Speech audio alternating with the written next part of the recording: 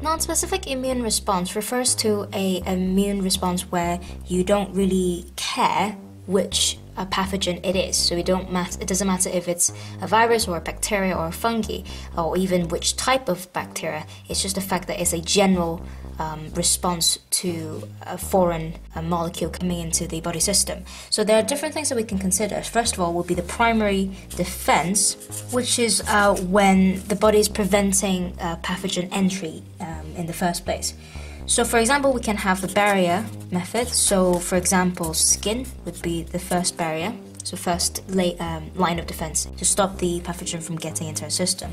We also have chemicals. So, for example, we can have mucus uh, along the lining of our trachea or bronchi to trap dust and trap pathogens to stop them from going further into the body, and then they get removed uh, by cilia, wafting it away.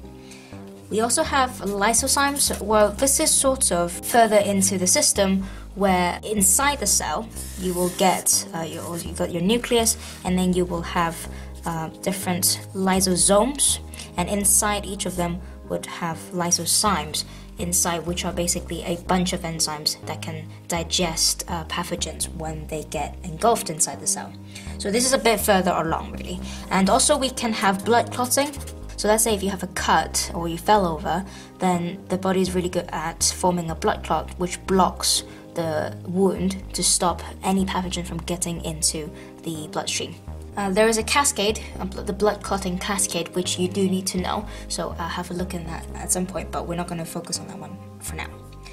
So that's kind of the primary defense, and then we got our secondary defense, and that's pretty much when, uh, let's say, after we've got pathogen entering our system. So what does the body do to respond to that? So in non in a non-specific secondary defense or immune response, we'll mainly focus on two things. Number one, we've got inflammation, and the other one will be phagocytosis. So there will be a couple of things that you need to pay attention to. Um, inflammation, you need to know the symptoms of them and uh, sort of a bit on the process of how the body works.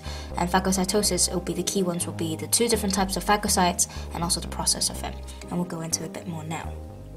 Inflammation is the immune response at vascular tissues when it gets infected, and it's quite obvious when you do have an inflammation because there will be some rather obvious symptoms. I will come on to that and explain how we actually get those symptoms in a second.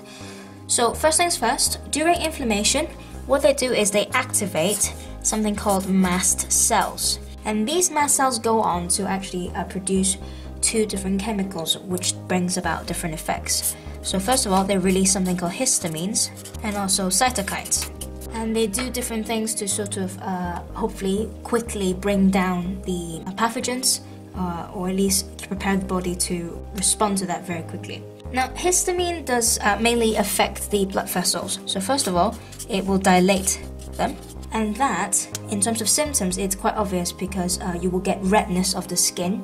So it's almost like uh, after running, you get a flush on, the, on, on your cheeks. It's pretty much the same idea. And also localized heat, so it just temporarily heats up in that particular area. So having localized uh, heat uh, is quite important because heating inhibits pathogen reproduction. And it's the same idea as uh, if you have a whole body fever, which is actually brought about by cytokines. Um, you're trying to make the immune system work better at higher temperatures, and also higher temperatures just naturally inhibit pathogen reproduction everywhere. But in inflammation, it's just a very specific area. Uh, another thing that the histamines do is that they make the blood vessel wall more leaky or more permeable. And what that means is, if you think back to a previous chapter when you talked about blood and tissue fluid, if it's a more leaky vessel wall, it means that you're making more tissue fluid. In that case, you're basically uh, allowing more white blood cells to uh, go through the vessel wall into the tissue fluid and near the cells to actually tackle the pathogen directly. So, in terms of symptoms, if you get more tissue fluid in a particular area, you get something called oedema, which is basically swelling.